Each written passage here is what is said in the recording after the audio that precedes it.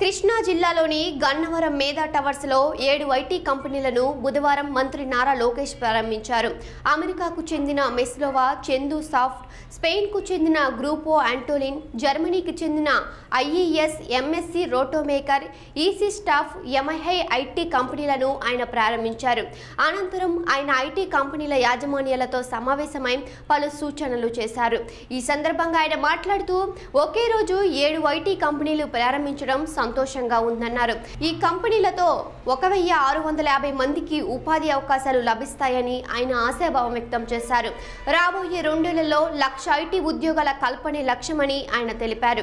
ఇప్పటికే హెచ్సిఎల్తో ఎంఓయు కుదుర్చుకున్నామని ఇతర ఐటీ కంపెనీలతో కూడా చర్చలు జరుపుతున్నామని లోకేష్ తెలిపారు.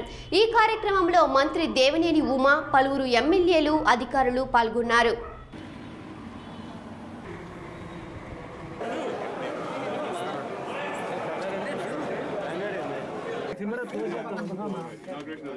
Okay.